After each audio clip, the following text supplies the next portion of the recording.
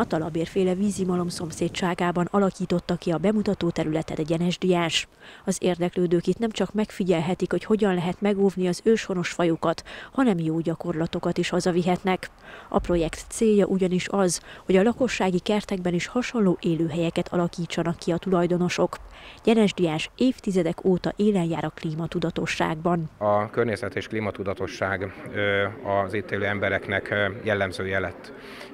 Nem csak tudnak az emberek arról, hogy az önkormányzatnak van egy ilyen vezérvonala, hanem gyakorolják is, hiszen vannak olyan különböző akcióprogramok, amelyekkel élnek már. Ilyen az Egyház Egyszőlő akcióprogram, az Egyház Palántáz akcióprogram, a gyümölcsoltónapok, különböző ö, olyan honos régi pannon ö, gyümölcsfajtáknak a ö, tovább nemesítése, átadása, amelyek ö, jellemzőek, fontosak voltak itt a településen. A projekt segít felhívni a lakosság figyelmét a biodiverzitás fontosságára. Emellett lehetőséget kapnak arra is, hogy tapasztalataikat megosszák egymással, illetve az osztrák partnerekkel. A projekt zárón elhangzott, Ausztriában lakossági összefogással alakították ki az élőhelyeket, gyíktanyát, virágos rétet és rovarhoteleket is telepítettek. A kertek nagy része azért sokszínű, de még mindig vannak olyan kertkedvelők, akik ragaszkodnak az angol pázsithoz. Mi azt szeretnénk tudatosítani, és azt szeretnénk népszerűsíteni, hogy próbálják ki, hogy milyen az, amikor egyszer nem nyírnak annyi füvet. Sokkal nagyobb élményt fognak nyújtani ezek az új életterek. ganzen Welt.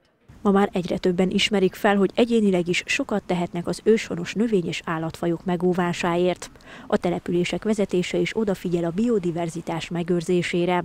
A kialakított élőhelyek nem csak a lakosságnak, hanem az ideérkező turistáknak is jó példával szolgálhatnak. Fontos szempont volt, hogy felhívjuk a lakosság figyelmét a biológiai sokféleség megóvására.